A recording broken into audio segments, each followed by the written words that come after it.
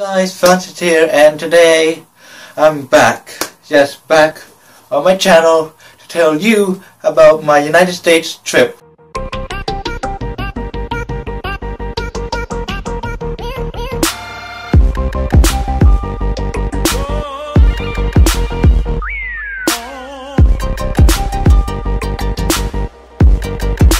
Okay, so the first state that I went to was Texas and I can say that Texas is one of the most sunniest states I've ever been to in the United States.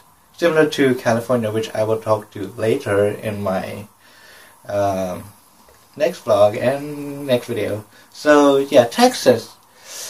It reminds me of the Philippines. It's sunny, it's warm, and it's legit. The shopping malls are something like I wouldn't be able to see in here because the infrastructure of the shopping malls are very close to a Spanish or European theme because they're painted as a beige or yellowy type of color and they are very extremely clean as well as modern. So yeah, Texas, I love Texas.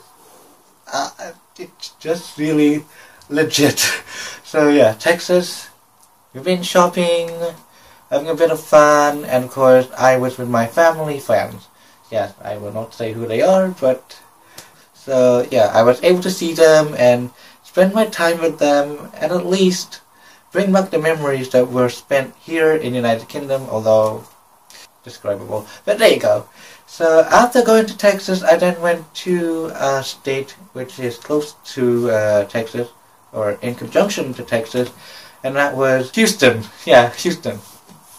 And uh, the place where we were going to was um, my family friend's cousin, so we were there to just like say hi and have a bit of fun and that. Just subjected to going to the San Antonio Mall specifically, and going in there, we were uh, looking around, having a bit of fun. Of course, the uh, mall was under maintenance, so there were a bit of uh, disruption there.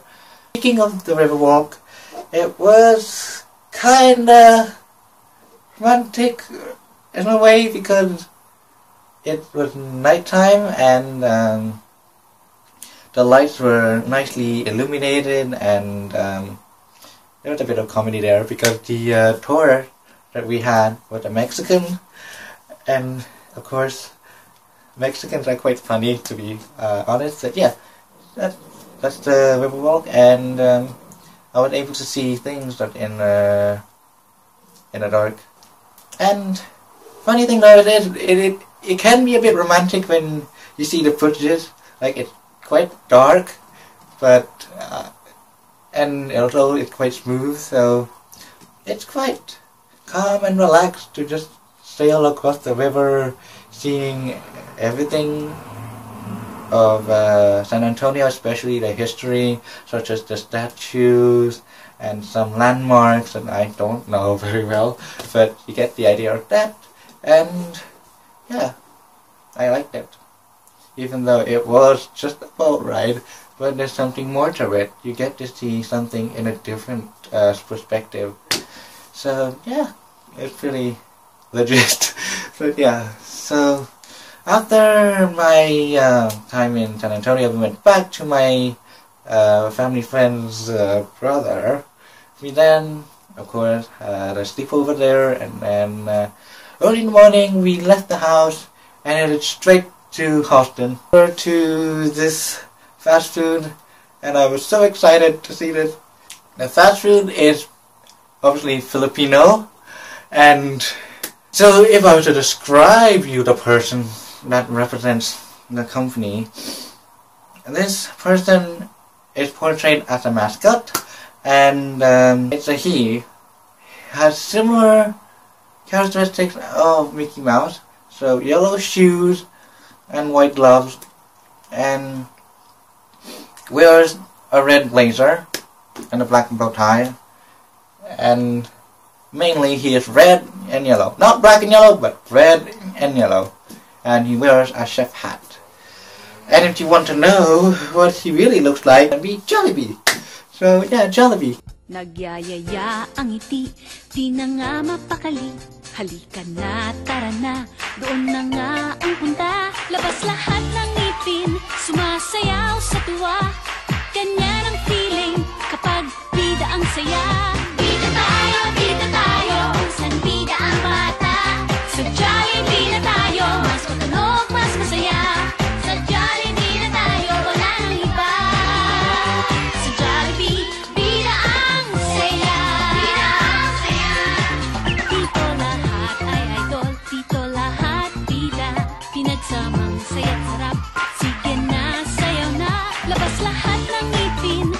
As we ordered the food, um, we ordered like seven, twelve pieces. I'm assuming. Aside of eating chicken on its own, I also had spaghetti. This spaghetti is much cheesier, much meatier, and much more delicious than a spaghetti that I would eat elsewhere in the world. Uh, it's just. Uh, okay, so after that we had our dessert, which was the ice cream sundae, and we had a flavor uh, um, that was pronounced in a way that was kind of weird. It was caramel, but a friend of a family friend of mine asked the uh, employee who worked there. They asked what flavor they were gonna add, and because it's a Kabayan, uh, the Kabayan said, in this funny accent. And so this is how she said it. I'm sorry, but we don't have another flavor, but we do have two flavors. Strawberry and caramel.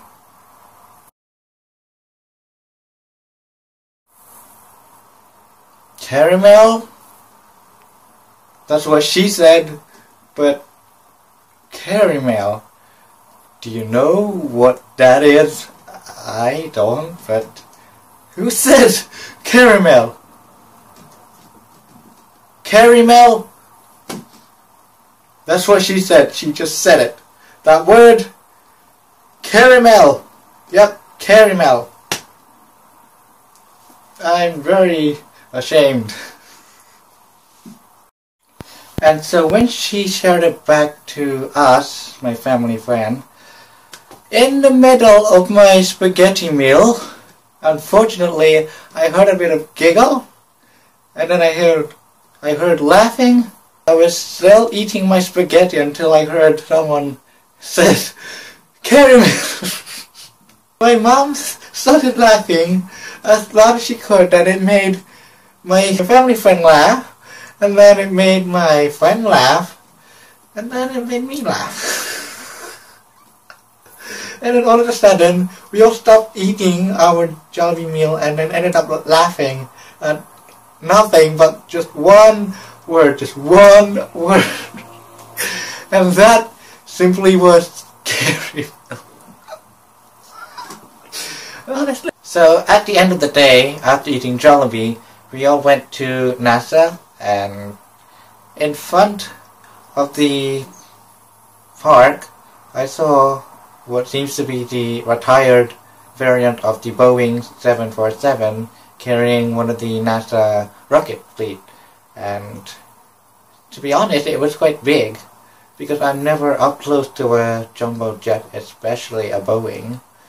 Yeah, because I'm usually in front of it laughing. So we got into the attraction, and um, of course the first, you know, the first thing that we I went to rather was the jumbo jet, the Boeing 747, and of course the the jet itself was modified and of course refurbished before retirement, but it was modified for, of course, the uh, preservation. So it had parts that were half open and uh, exposed to show how it worked in that variant, and the models of the, I think, airport that they had to like line up the rocket on top of the plane.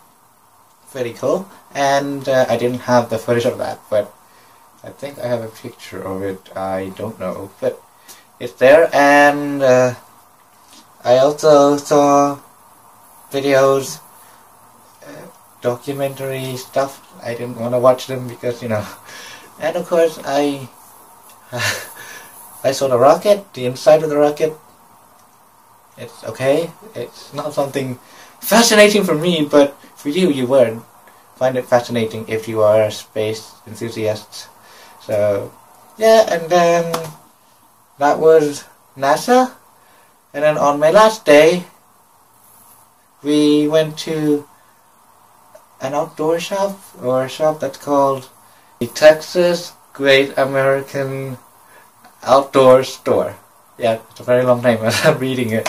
So in that store there is lots of things that you would find uh, in a forest, I guess, if you are a camper or fisherman and or a huntsman. That's what it was. So you would find dead animal parts, like part of the deer heads on a wall, and of course dead animals flying that you would find up in the ceiling, and then some mounted on the wall, like fishes and birds. And then I saw a big tank in front of me, like literally from the entrance to the end of the uh, store what uh, looks to be a fishing tank and next to the fishing tank right on my left side there's this big giant bear almost six and a half feet tall it was big fluffy it looked like it was alive but yeah a bear and uh, yeah, I didn't really find it that interesting for me, but I decided to walk around and take a few footages of dead animal. And I would say to myself that why not enjoy it? So I did enjoy it and walked around. I even tried out mailboxes that were shaped like a fish, and yeah, it's really it's it's not my thing, but at least you get to enjoy the Americanized version of outdoor adventures, I guess. And yeah, pretty much it. And then after that, I was like the last day, and then we flew over to San Francisco. So, after watching this video, what do you think of my first American vlog? Of course, I will be uploading more vlogs where I went to the United States and if you like this video give it a like subscribe for more content and of course comment down below of where you've been to the United States and whether you want to live there or you want to go back there and yeah see you in the next video